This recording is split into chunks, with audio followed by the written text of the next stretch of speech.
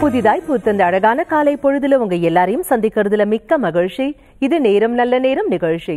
உன்னை நோக்கி வீசப்படும் அவமான கற்களே நீ ஒரு நாள் அமரும் வெகுமான அரியணையாகிறது. தோல்விகளை கண்டு துவண்டு விடாமல் வெற்றியை நோக்கி வீரநடை போட்டுத்தான் பார்ப்போமே.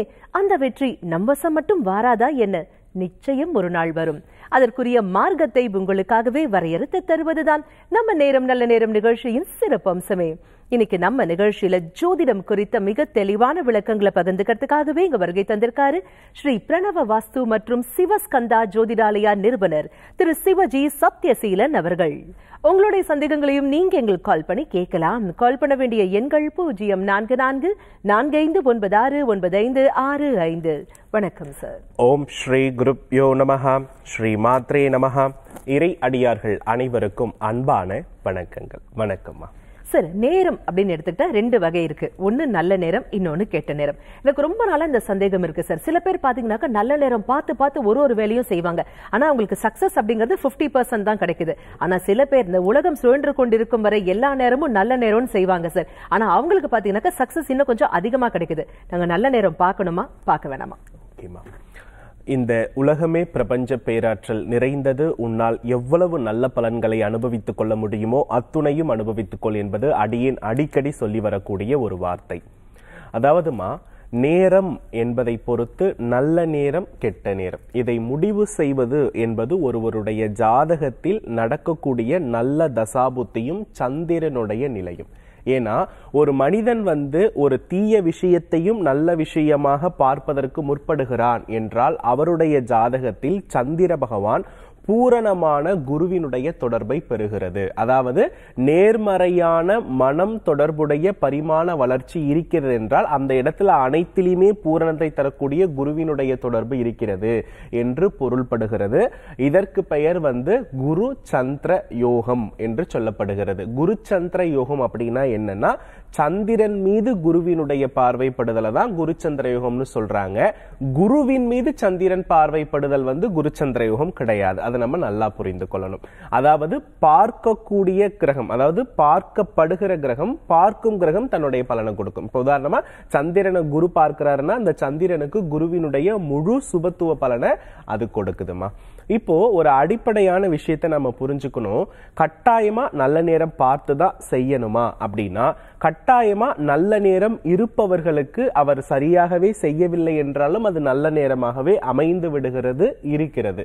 அப்போ ஒரு நல்ல நேரம் என்பது எதை குறிக்கிறது அப்படின்னா இப்ப வந்து நமக்கு பஞ்சாங்கம் அப்படின்னா ஐந்து அங்கங்களை கொண்டது. அதாவது வந்து பாத்தீங்கன்னா வாரம் திதி யோகம் கரணம் அதுக்கப்புறம் வந்து பார்த்தீங்கன்னா நட்சத்திரம். இது ஐந்து அங்கங்களை கொண்டது.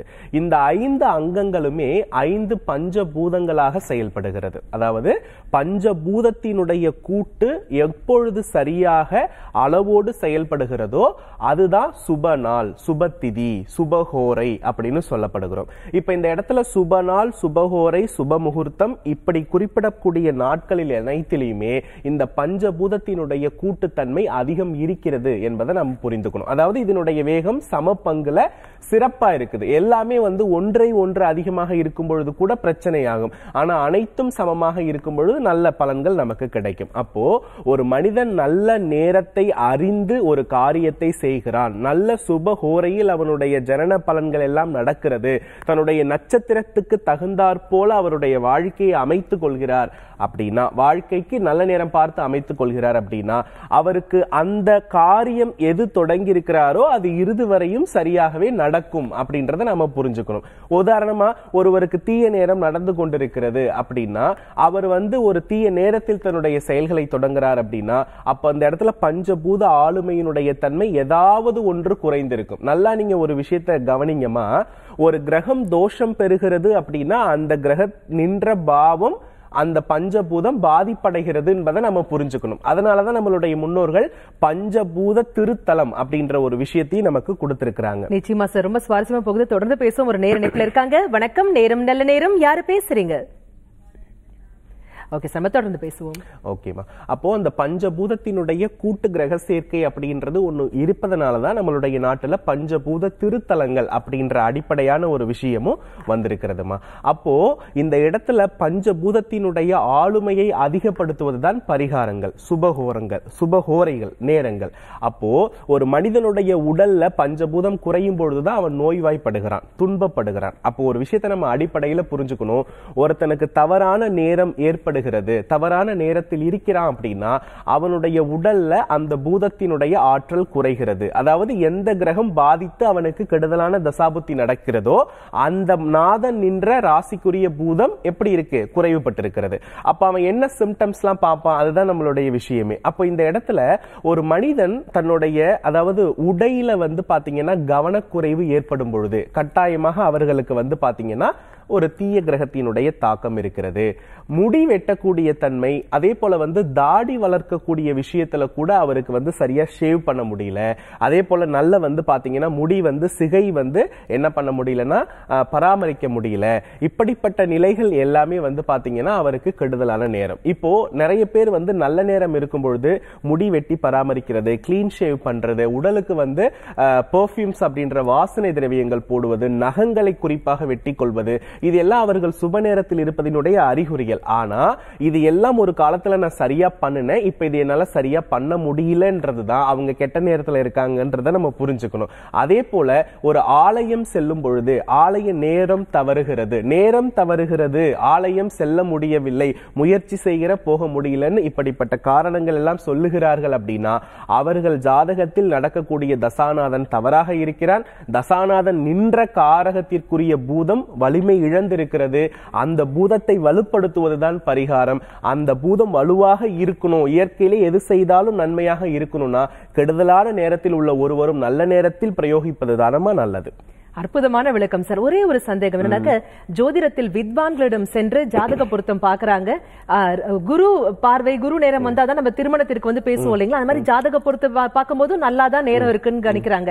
நீங்க சொன்ன மாதிரி கிளீன் ஷேவ் பண்ணி அழகா ட்ரெஸ் பண்ணி மக்கள் சூழ வாழ்த்துக்களோட ஓமம் வளர்த்து திருமணம் நடக்குது. இவ்ளோ பாசிட்டிவிட்டி இருக்கும் போது திருமண வாழ்க்கை ஏன் நெகட்டிவா மாறுது? ஓகேம்மா.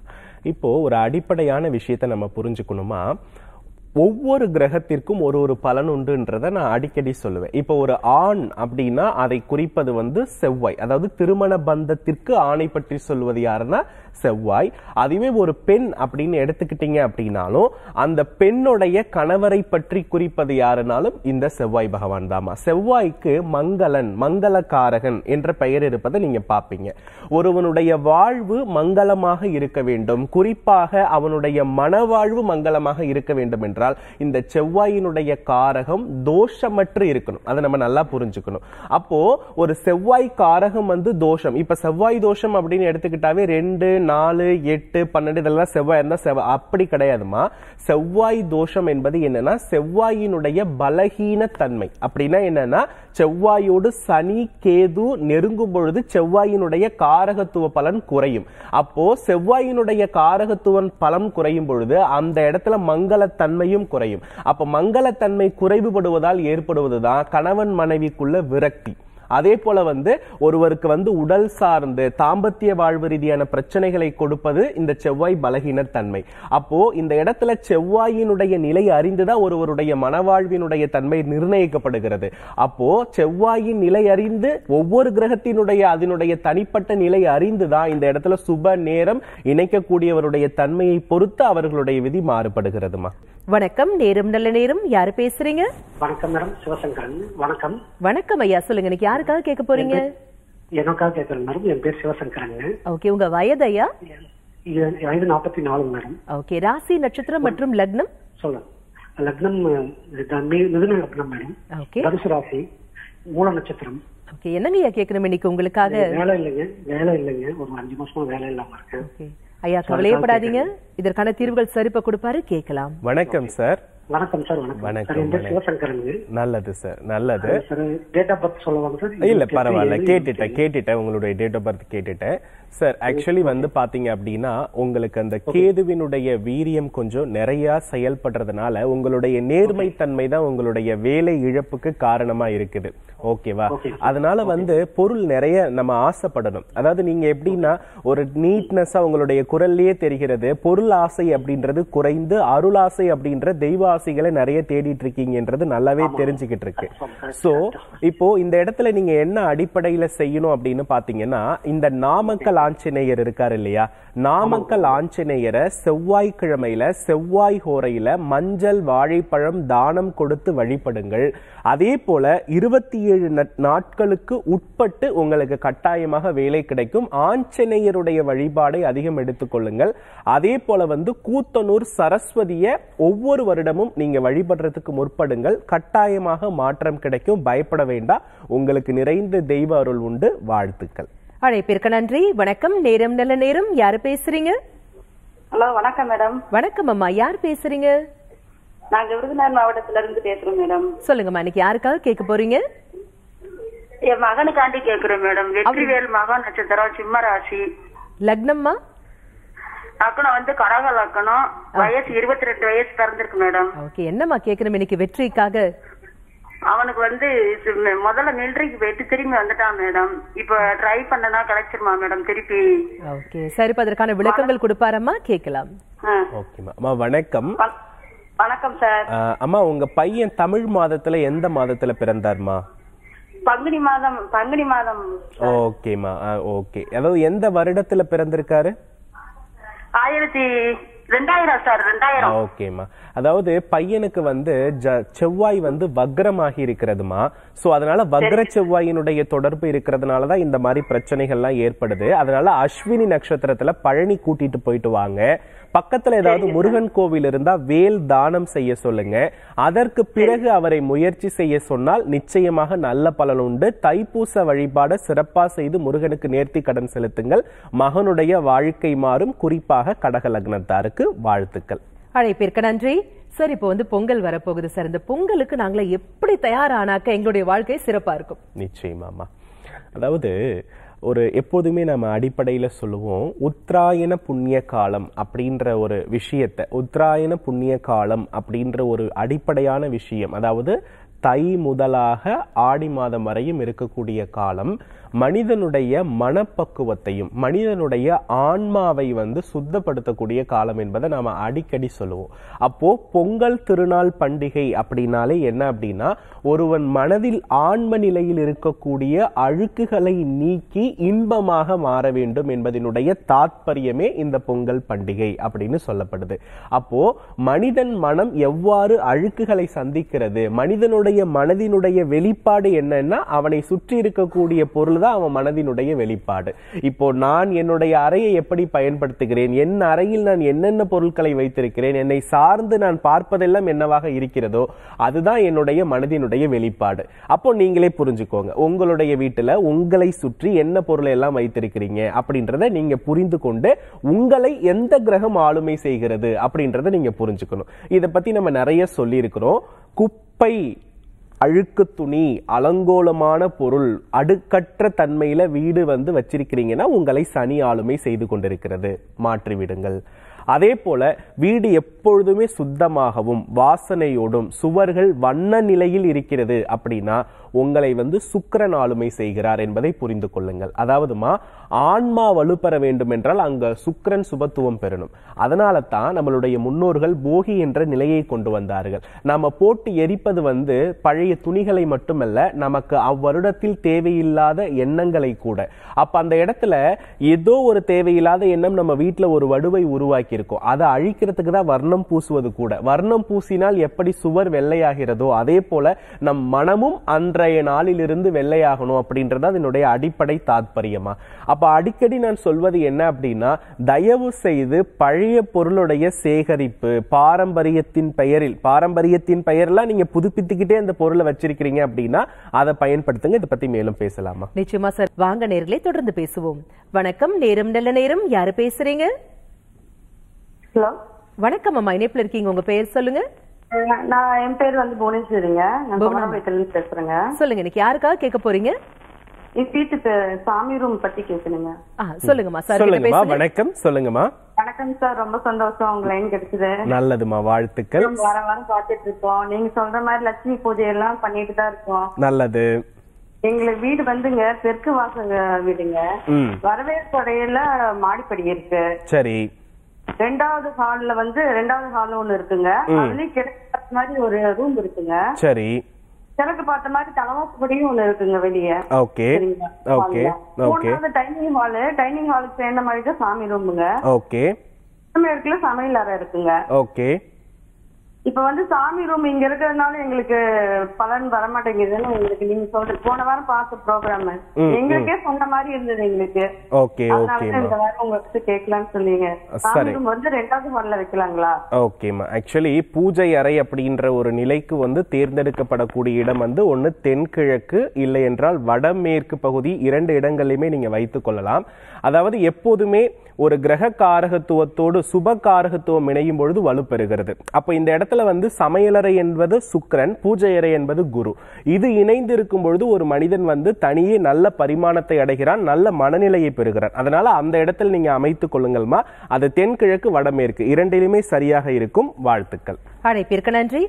சார் பொங்கல் அன்னைக்கு நாங்க என்ன பண்ணினா எங்களுடைய வாழ்க்கையில் மகிழ்ச்சி பொங்கல் பொங்கும் சார். நிச்சயமாமா அதாவது பொங்கல் அப்படின்னாலே அடிப்படையில சொல்லிட்ட சுத்தம். அதாவது உங்களுடைய மன சுத்தம் உங்களை சுற்றி உள்ளதனுடைய சுத்தம். இதை வந்து நீங்க கரெக்டா மெயின்டைன் பண்ணிக்கிறது ரொம்ப ரொம்ப நல்ல ஒரு விஷயம். எப்போதுமே பொங்கல் அப்படின்னாலே அதிகாலை தான். பொதுவா பொங்கல் வைக்கும் பொழுது அதிகாலையில் பொங்கல் வைப்பது நன்று. இந்த வருடம் வெள்ளிக்கிழமையில் பொங்கல் வருவதனால காலையில ஆறிலிருந்து ஏழு மணிக்குள் இருக்கக்கூடிய சுக்கரகோரையை நீங்கள் வந்து வழிபாட்டிற்கு பயன்படுத்திக் கொள்வது மிக மிக உன்னதமான சிறப்பு. முடிந்தவரை இந்த வருடம் வரக்கூடிய இந்த தை திருநாளில் ஏதாவது ஒரு நகைகள் வாங்குறதோ அல்லது வந்து வெள்ளி பொருட்களை வாங்குவதோ அல்லது அதுவும் முடியலன்னா மஞ்சள் உப்பாது வீட்டில் வாங்கி வைக்கிறது மிக சிறந்த மாற்றத்தை அவ்வருடத்திற்கு உங்களுக்கு கொடுக்கும். குறிப்பாக பொங்கல் அன்று வழிபட வேண்டிய தெய்வம் மகாலட்சுமி. ஏன்னா ரோஹிணியினுடைய காரகத்துவம் செழித்திருப்பதனால மகாலட்சுமியினுடைய திருவுருவ படத்திற்கு நீங்கள் பொங்கல் அன்று வழிபாடு செய்யுங்கள். வழிபாட்டு மலர்கள் அப்படின்னு எடுத்துக்கொள்ளும் பொழுது மருதாணிப்பூ மாதுளைப்பூ. இந்த மருதாணிப்பூ மாதுளைப்பூ கொண்டு அம்பிகையினுடைய அஷ்டோத்திரத்தை சொல்லி அர்ச்சிப்பது விசேஷம். அர்ச்சித்து முடித்த இந்த மலர்களை நீங்க வந்து ஒரு வெண்பட்டுல எடுத்து முடித்து தலைவாயில்ல கட்டிக்கொள்வது மிக சால சிறந்த ஒரு விஷயமா. அதே போல இந்த தை பொங்கல் திருநாள்ல முடிந்த வரை என்னுடைய வாழ்வுல நிறைய பிரச்சனைகள் இருக்கு நிறைய தடைகள் இருக்குன்னு சொல்றவா அருகாமையில் இருக்கக்கூடிய விஷ்ணு பரமாத்மாவினுடைய ஆலயத்தில் ஆஞ்சநேயர் இருந்தால் வெண்ணெய் தானம் அன்று செய்வது மிக சிறப்பு. நோய்வாய்ப்பட்டவர்கள் அந்த வெண்ணெயை வாங்கி வந்து வெறும் வயிற்றில் உண்ணும் பொழுது கட்டாயமாக இந்த பொங்கல் திருநாள் வரக்கூடிய நாளிலும் நம்மளுடைய மனதில் அப்பழுக்கற்று அதாவது நிறைய அழுக்குகள் சேர்ந்திருந்தாலும் அதை நீக்கக்கூடிய ஆளுமையை மாதுளை பூவும் தரும். வீட்டினுடைய தீய சக்தியை நீக்குவதற்கு மருதாணிப்பு உதவி செய்யும். செல்வ வளத்தை கூட்டுவதற்கு மகாலட்சுமி உதவி புரிவாள். இங்க எல்லாருக்குமே ரொம்பவே பயனுள்ள விளக்கம் பகிர்ந்துட்டீங்க சார் நாங்க எல்லாரும் ஆனந்தமான அதே சமயம் ஆரோக்கியமான வாழ்க்கையும் வாழ்வதற்கு தேவையான அத்தனை விளக்கங்களையும் பகிர்ந்துட்டீங்க மிக்க நன்றி. நன்றிகள்மா நேர்களே அடியேன் ஜோதிடம் ஜீவனாடி வாஸ்து வாயிலாக உங்களுடைய வாழ்வில் உள்ள குறைகளை தீர்த்து வருகிறேன். எப்பொழுதும் சொல்வது போல ஆன்லைன் கன்சல்டேஷன் தான் போயிட்டு இருக்கிறது இறைவன் உங்களுடைய வாழ்வில் எல்லா விதமான நலங்களையும் வளங்களையும் வாரி வழங்கட்டும். வெற்றிவேல் முருகா. நன்றி வணக்கம்.